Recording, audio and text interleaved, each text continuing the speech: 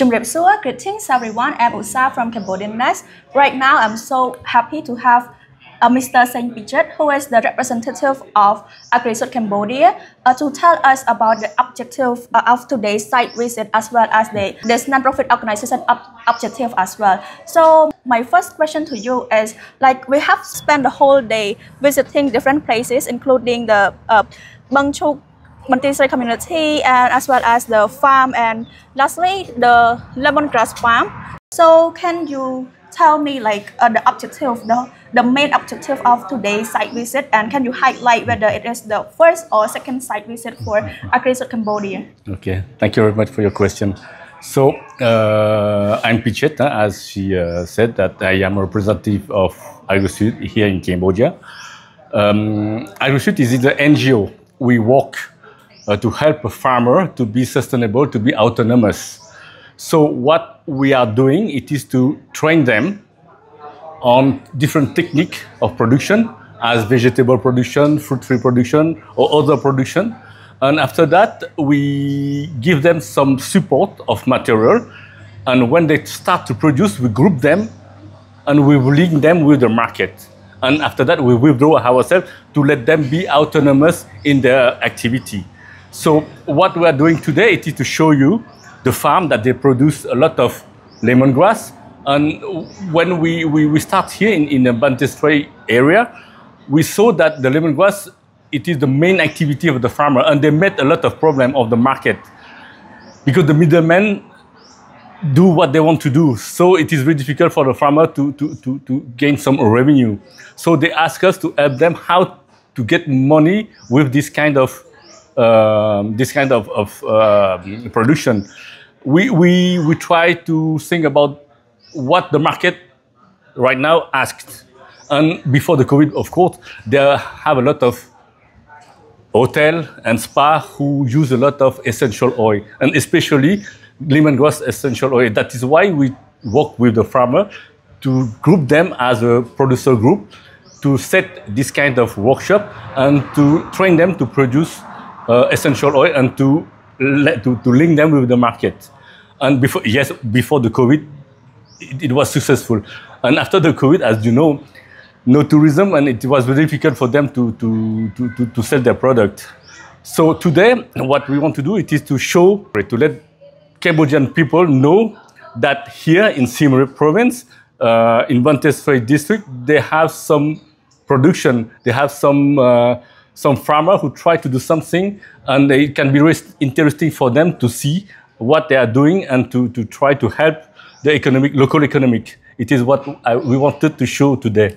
So, uh, since the first day that, that you came here and um, until now, so have you observed like the difference between uh, the livelihood of the local livelihood? Uh, how has it changed from the first day you come and after uh, your training as well as your support? Yeah, yes, it is a very good question. So about the livelihood, about the revenue, they, they, they get more revenue, of course. Now they can send their children to the school, they can be autonomous, they can um, go to the doctor, uh, they can have now some motorbike compared to before. But it is what I said, you have to ask them, it, it's better. And what I I noticed also they, they gain a lot of knowledge about technique, technique of production, technique of uh, essential oil production, uh, how to grow um, in, in a sustainable way. It means that reduce fertilizer, economic, um, chemical fertilizer, or reduce totally pesticide on the, on the, on the production. It is what I, I noticed. It is a gain of knowledge. So I believe that uh, uh, besides District District, uh, AgriSud Cambodia also have to support local communities in Siem Reap. So uh, can you mention or can you highlight other areas or regions that AgriSud Cambodia uh, support uh, those local communities? Like so yes, thank you. So right, right now we work in uh, eight communes around Siem Reap. You have in the south of Siem Reap, Karbai Real, Purk, Kandai, Chriel, and in the north, in Banteay Srei, and here Kunrim. And also we went uh, last time on uh, Kulen Montaigne. And uh, we group them as, for their group themselves, yeah, yeah. as Green Farmer Association, as you know. so for AgriSud Cambodia, do you have any plans like long-term plans for Cambodia to support uh, local communities, like uh, to promote it to another level?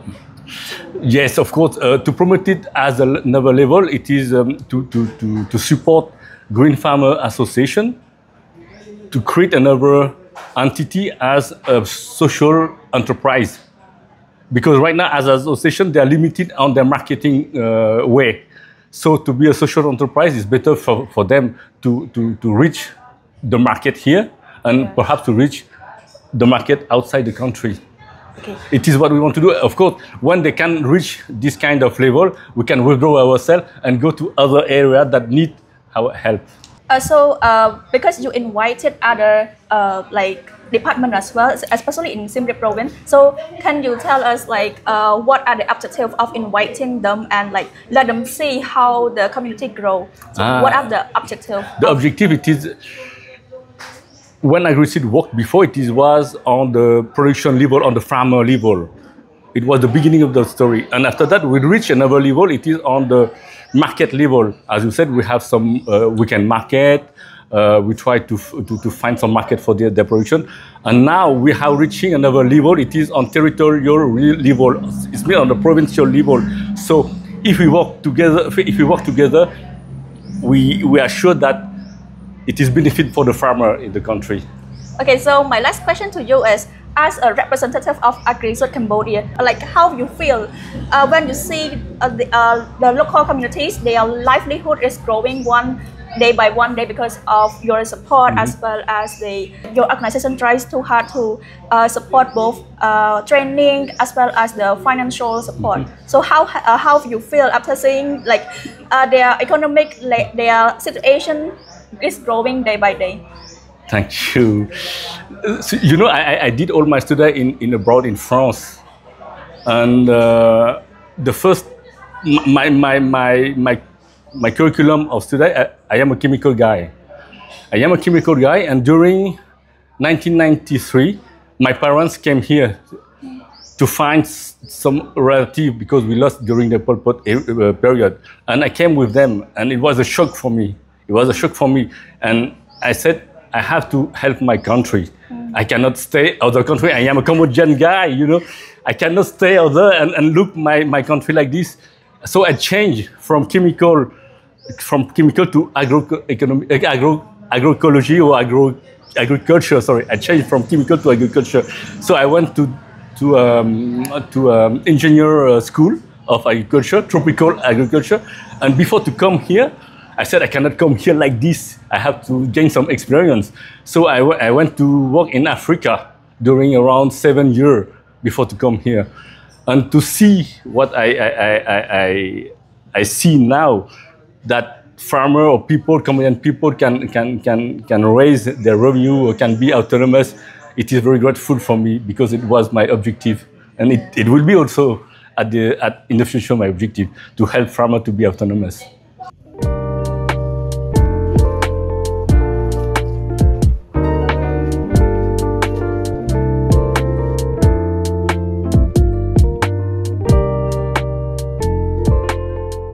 Yeah, after you know spending the whole morning um, with the uh, Banteay Srei Bangchuk Banteay Srei uh, ecotourism or tourism-based community, I feel very proud. It's a hidden gem that you know we we uh, me uh, myself I don't really know the place really well uh, honestly because um, it's after COVID a lot of things going on and I think it's a great um, opportunity for promoting um, ecotourism and tourism uh, community as well. So it's a great potential products there that we can actually introduce to the broader audience of the uh, uh, clients. You know, basically reflect to the um, uh, uh, beyond temple, temple activities.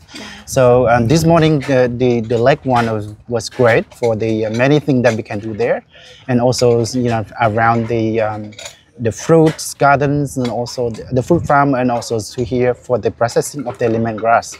It's kind of a very enhancing of the activities that people can actually not only see the the ecotourism and itself, but also can engage with the local communities a lot more, and also they can learn about the daily life, about the what are you know the potential of the um, handicrafts product and also the uh, the enhancing um, the activity in the community as well as bringing the uh, sustainable of the profits direct to the community. So I think it's a great initiative. Yeah, thank for the for a very good trip.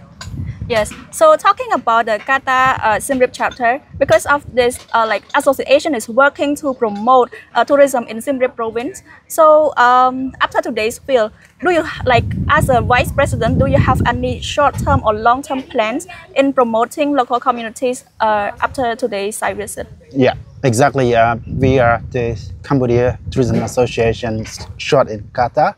We actually working um, uh, alongside with the communities to ensure that we have a, a good product to offer to our clients and also for our members.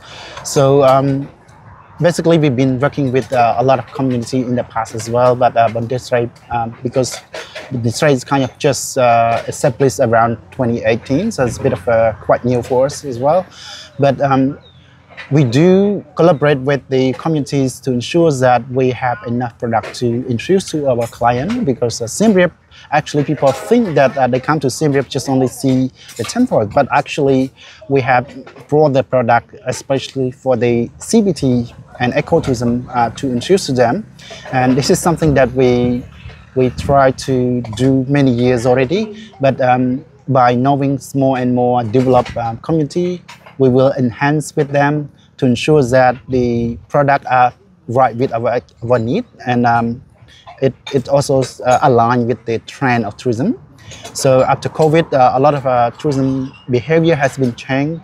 Uh, they, they tend to see more um, authentic place and natures and you know interact with the communities more and also especially for the green uh, like ecotourism and this morning uh, exploration was really you know um, seeing the the real green activity and also the daily life of the community and also you know encourage in sustainable um, ecotourism and CBT based tourism as well as the you know um, natures and cultures reflect in those yeah. So um, from now actually we've been working with the stakeholder for for many years already but uh, for now is i'm glad that we have uh, this hidden gem uh, community-based tourism that we start working with them and with other stakeholders to promote um, where uh, we can design our package uh, communities is part of our package. Um, there's a few things that we need to clarify with the authority and also with the community you know to offer something that's unique and reflect to the uh, Reap destination Okay, uh, so you have sayings for mentioning about uh, CATA objective and vision in improving or in, uh, enhancing uh, local communities in Siem Reap province. So I believe that or more stakeholders will lead uh, to more achievement. So um, I, I would like to hear from you. What do you think? Who are the stakeholders that should be involved in developing such local communities in uh, promotes their local communities to another level? Yeah, of course. Um, you know, ecotourism and tourism-based communities involved with many stakeholders. So, uh, namely, is I think from the government sectors, it's very important that uh, government sectors act as the parents or uh, uh, you know, a very big, important partnership of the community to make it work. Um, so first of all, it's uh, government officers for around the policies uh, to enhancing the sustainable uh, community uh, investment policies and, you know, a legal perspective.